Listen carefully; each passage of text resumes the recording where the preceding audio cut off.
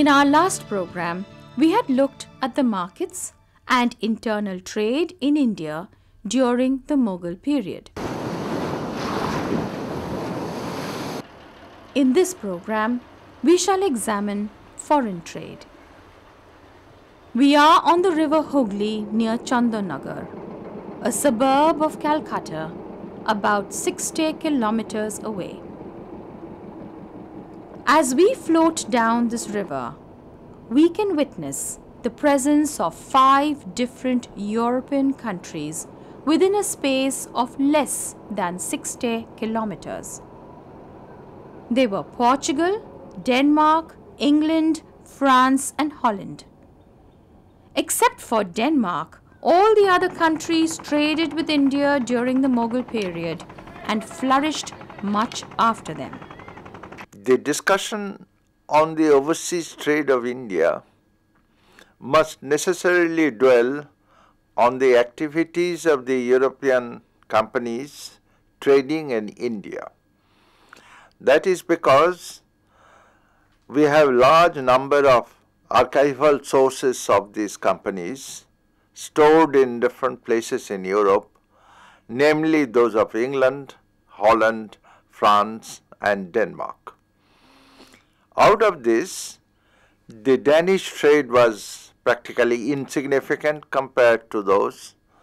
They had been at Tranquebar in the beginning of the 17th century, but they could not put their foot really in Bengal before the early 18th century, and by 1717 they had been driven away.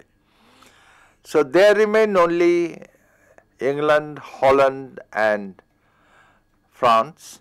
But before that, we have to deal with the first European company, the Portuguese. And then we would have to see the difference that was created by the Portuguese in the framework of the Indian Ocean trade the Indian overseas trade was divided into two directions. One was going to the Western Asia, to the Middle East, and the other to Southeast Asia. Before the coming of the Portuguese, the Indian Ocean was a free trade ocean in the sense that there was no monopoly of any king or a ruler or any company or of any merchant. The commodities were free in the sense that anyone can take any commodity they want. They would of course have to pay taxes and the taxes differ from one place to another, from one port to another. But the basic uh, feature of the pre-Portuguese Indian overseas trade was that here the merchants of different nations like the Chinese even or those of Arabia, Turkey, Persia and as well as India, both Gujaratis and Muslims, Jains and non-Jains, they used to do their trade in the Indian Ocean. The government did not interfere. No government actually interfered. There were certain conflicts, it is true, but these were trivial and not related to the principal framework. So the principal framework of pre-Portuguese trade was more or less the freedom of the sea. In 1498, we know Vasco da Gama came to Calicut. He declared that he had come to search Christians and spices. There is no objection to that, but then he declared that the Calicut king, who is called Zamorin, should drive away the Muslim merchants from Calicut, which the king refused. Then Gama bombarded Calicut. It had practically no effect. He left and went to Lisbon. After he had reached Lisbon two years later, the king of Portugal declared himself a lord of Ethiopia, that is Africa, and lord of Asia, including Indonesia, India, etc. This he did on the basis of a certificate granted by the Pope giving him this right. The Indian rulers, of course, did not pay much heed to this certificate of the Pope, but they had to follow the Portuguese for another reason. The Portuguese sent Cabral to India and he declared war on Calicut and allied with Cochin. He divided Cochin into Portuguese and India. And then there was constant struggle between Calicut and Cochin, supported by the Portuguese. By 1506, the Portuguese had declared that the spice trade of Asia, including India, would be the monopoly of the King of Portugal. This is a completely new thing so far as Indian Ocean is concerned. This is a new framework that they are putting up. By 1510, Albuquerque had conquered Goa from the Sultan of Bijapur. 1511, they had got Malacca and Hormuz. So by getting these places, the Portuguese created what is known as the triangle, Hormuz, Goa, Malacca and the entire area in between them is called by them Estado da India, the empire of India, one might say, or estate of India, one might say otherwise. Now, in this, the Portuguese had created another particular feature which was quite new. The Portuguese had started a pass system.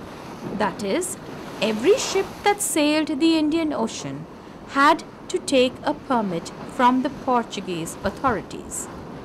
Of course, they had to pay something to get this pass. In Portuguese, it is called cartaz. Cartaz is a must because otherwise the Portuguese would attack the ship and since the Portuguese navy was very strong then, most of the Indian rulers, including the Mughals, who had their own ships for trade, in both in Southeast Asia as well as in the Middle East, had to take this kind of cartaz. So therefore, even if the Indian rulers did not follow the diktat of the Pope, or that of the King of Portugal. In practice or in reality, they had to follow the Portuguese rule or the new concept of the framework that they had imposed. The Portuguese dealt mainly in spices. They were not asking for the cloth, not much. And their trade continued quite merrily till the Dutch had come in. After the coming of the Dutch, as we would see now, the whole thing changed. The framework got far more complicated, and the Indian merchants were gradually at a loss to understand that a small country like Portugal, neither very rich also, could have this control over the Indian Ocean from thousands of miles away.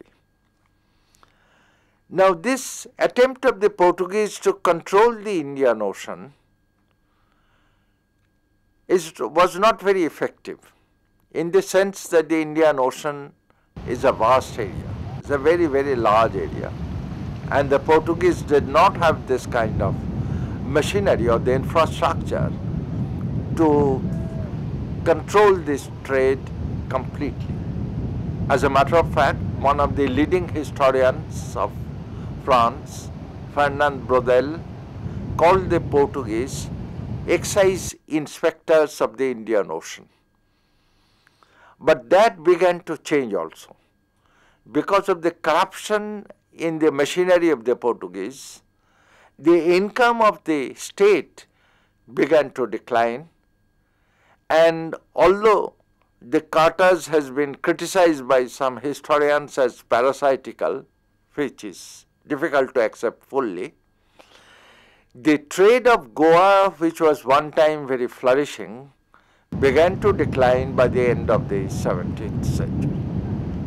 But for that, perhaps the attacks of the Dutch and the English were far more responsible than merely the corruption within the machinery of the Portuguese. But the Portuguese had shown the Europeans two particular features. One, that they can do away with the Mediterranean merchants. Before the coming of the Portuguese, the Indian merchants would carry their merchandise to the Persian Gulf. From there, another group would take it to Cairo and Alexandria. The merchants from Europe would come to Cairo and Alexandria and trade there. Indian merchants also used to go as far as Russia and Central Asia, but these were mostly served by the Middle Eastern merchants. Now the Portuguese had shown that there is no necessity of the Middle East. One can have a direct trade between India and Europe. This direct trade between India and Europe was one of the features, second feature of the Portuguese which they gave to the English and the Dutch companies. The methods of the English and the Dutch companies were not uh, very different from those of the Portuguese. They wanted also to control the Indian Ocean. But at the same time, being far more powerful and resourceful than the Portuguese, they wanted certain privileges in the Indian ports, like less tax and other things.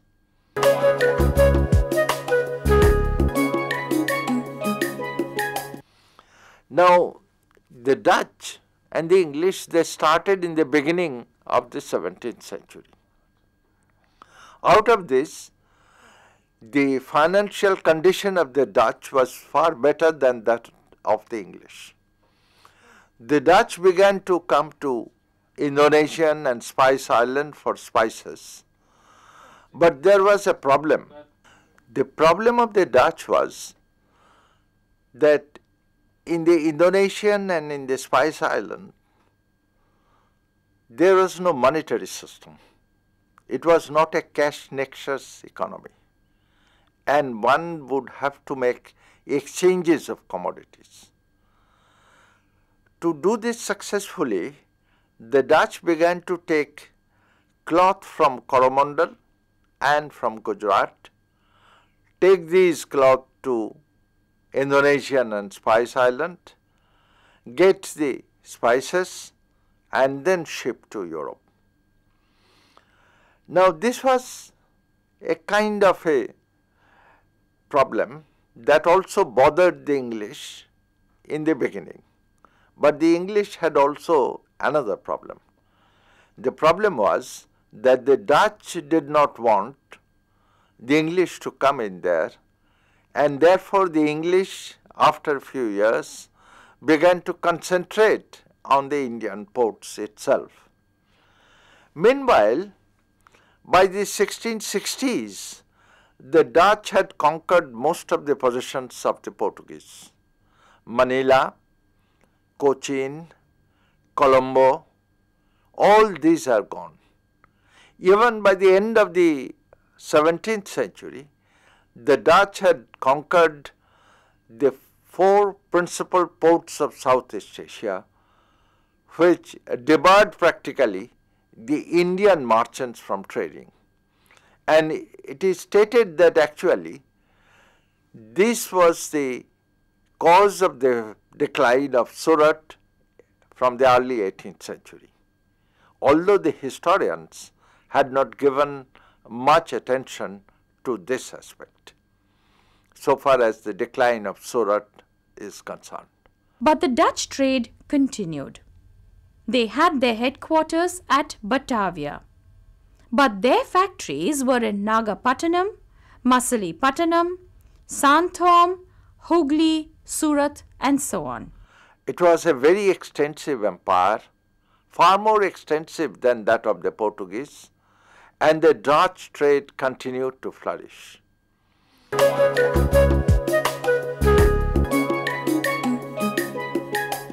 English, following the Dutch, now concentrated on the Indian ports. They had a factory at Masalipatnam, early 17th century. By 1623, they had conquered Hormuz from the Portuguese. Then they had Madras in the 1630s. In the 1660s, they had Bombay, which was given as a dowry by the Portuguese king for the marriage of Portuguese princess and English prince. Now, th with this was added after 1632, when the Mughals had driven the Portuguese away from Hooghly, the starting of the factories in Bengal, first at Hooghly, and then at the end of the 17th century, the English came to Calcutta, purchased three villages from the Subadar Azim-ush-Shan and settled there. In 1717, they got the firman from the Emperor Farrukhsiyar of doing free trade in Bengal, what he meant, but the English meant all over India, for a payment of 3000 rupees annually. They had also got the right to buy 38 more villages, which the Subadar Murshid Quli Khan did not allow them to purchase. But with this firman, practically of free trade, there was great corruption. The English merchants, they did their, even the officials did their private trade, and they took with them the, some of the Indian merchants as well. At the same time, the English wanted to fortify Calcutta, which they could do after the uh, revolt of Sobha Singh and Rahim Khan in Bengal at the end of the 17th century. And it was this fortification that led to the war with Siraj-Dowla in 1757 and it was this free trade that led to the war with Mir Qasim a bit later. But the English continued to flourish and their trade was mostly in cloth, not in spices, because by that time the Dutch had shifted from spices to cloth. The reason was that spices had accumulated so much in the European markets that there was no chance of selling the prices there. Now the English began to dwell on the cloth, the Dutch followed, and we'd see later the French followed that also. The only problem was that the European cloth merchants in Europe, they began to protest. And as a result of their protests and movements, most of the European rulers began to impose heavy taxes on the import of cheap Indian cloth. So both the Dutch and the English now began to shift towards high quality cloth like muslin in Bengal and then on to other items like raw silk, opium, sulfur, etc. Even to certain extent indigo. This kind of new commodities gave them better profit in comparison to the profit given in the spices.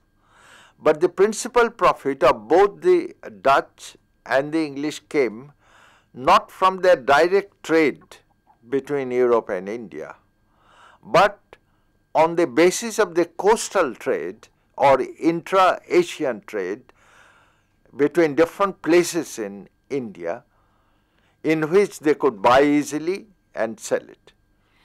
The one problem of purchasing in India for both the Dutch and the English was that India had a very strong cash nexus economy. That is, goods in India had to be purchased with hard cash. For this, the European companies began to import foreign currency as well as bullions of gold, silver and copper. This is one of the reasons why the Mughal mint was very prosperous, the Mughal coinage one of the best in the world. But this was also questioned by the European thinkers in Europe. According to them, their money was going out, which would mean they are getting poorer.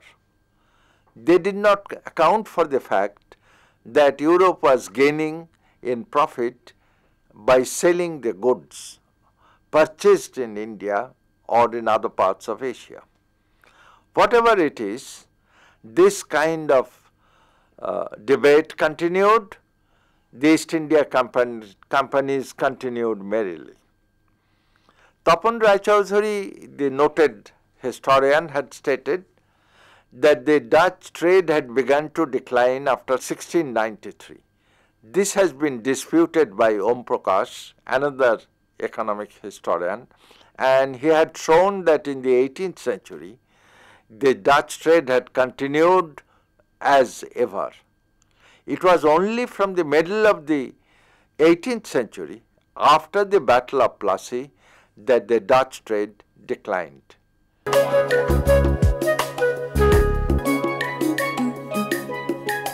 The French had started a company in 1664 in France, mainly by the initiative of the minister Colbert.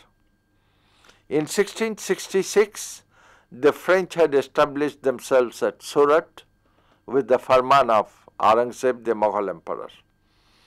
In 1669, they had established a factory at Masalipatnam, but they had to leave it due to their quarrel with the Masalipatnam authorities next year.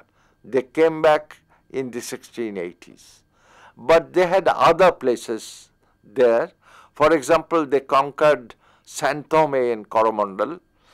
But in Coromandel, they had to fight the Dutch and the Golconda king at the same time and they lost San Thome.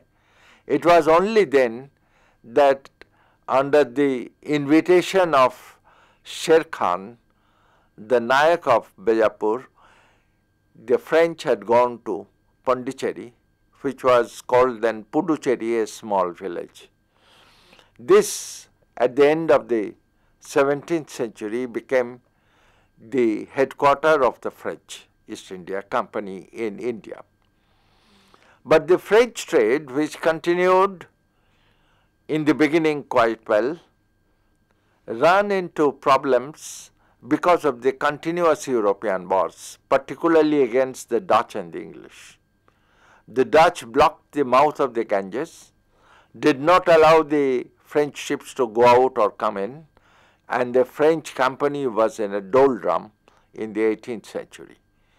In 1719, the old company was dissolved and a new company was made in France.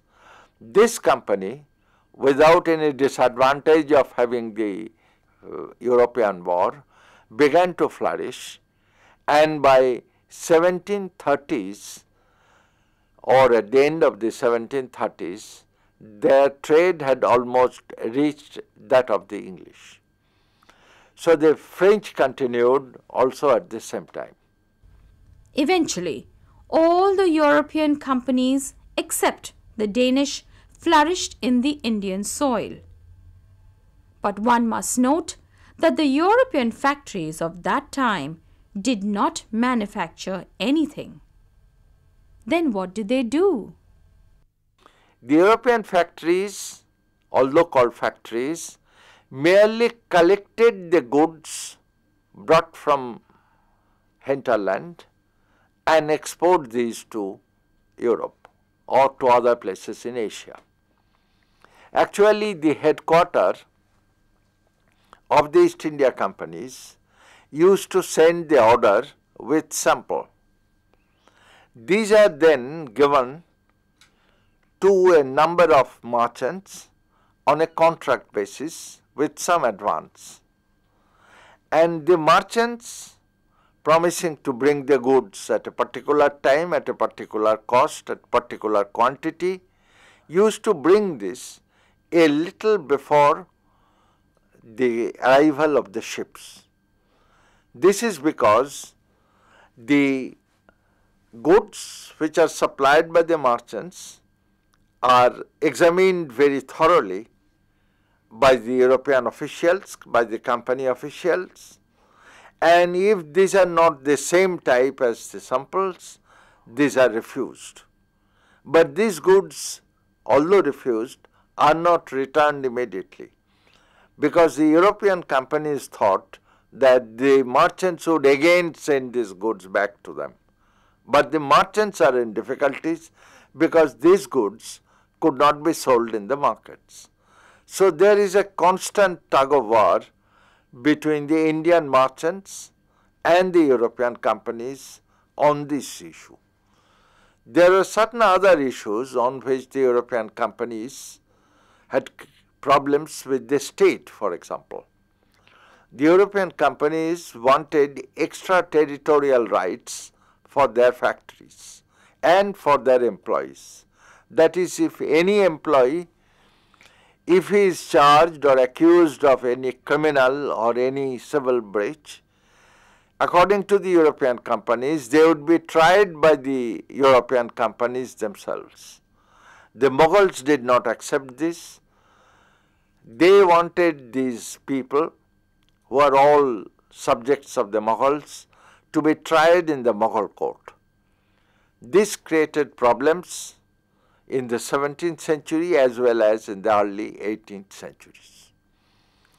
The method of the Dutch and the English as well as also of the French was very simple. They had different factories in principal ports then they have small factories in the interior called aurongs. These aurongs would bring the goods from the interior, sent to the main factories and the factories would export them.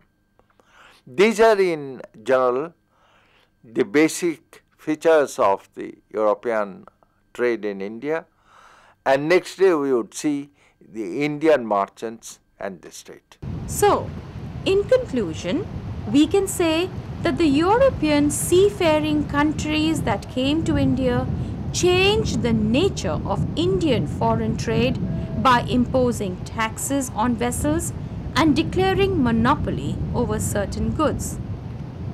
When they began trade, it was only economics and religion that were the main concern. But gradually, they gained political power. There were struggles between the foreigners themselves and also between the foreigners and the Indian rulers.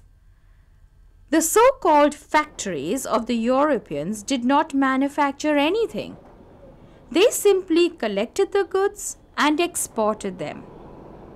Nevertheless, trade between India and Europe flourished right into the 20th century.